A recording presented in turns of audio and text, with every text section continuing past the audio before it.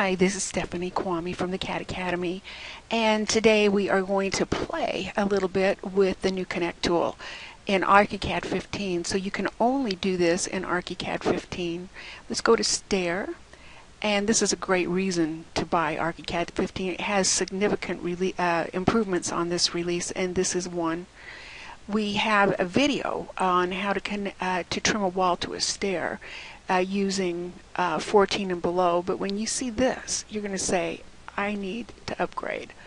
Okay, we've got this stair. Let's go ahead and put a wall in there. I'm going to start a wall here this corner and go to this corner because this is going to be under the stair.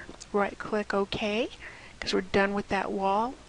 Let's go into a generic perspective to take a look at what we did. Zoom it up and rotate it around a little bit and there is what we've got. So we want to trim that wall to the stair. now all we have to do with this version is get into edit mode by selecting the arrow. The magnet will find anything we go on top of and identify it for you.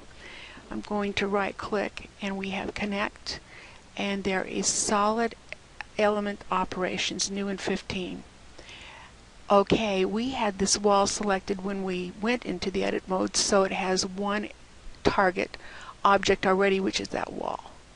Now I want to go down here to get the second one. And it has the wall, but I'll escape and select the stair this time, and that wall actually goes away. So then when I say get that, it has a stair. Now let's go ahead and say we want to uh, extract, subtract with an upward extrusion and execute on that. And how easy was that? The other way was so much harder. And another benefit of this is we've got the stair, so uh, we're going to select the stair again for editing. Let's go to, we've got the arrow on, we've got the magnet, and it identifies it. We're going to pick a grip, and we'll go ahead and move this stair up a little. And did you see that? It's dynamic.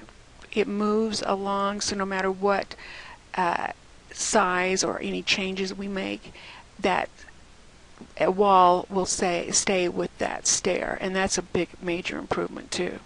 So uh, if there wasn't any other reason to upgrade, being able to do things, solid element things like this in ArchiCAD 15 is definitely the best. Thanks for listening.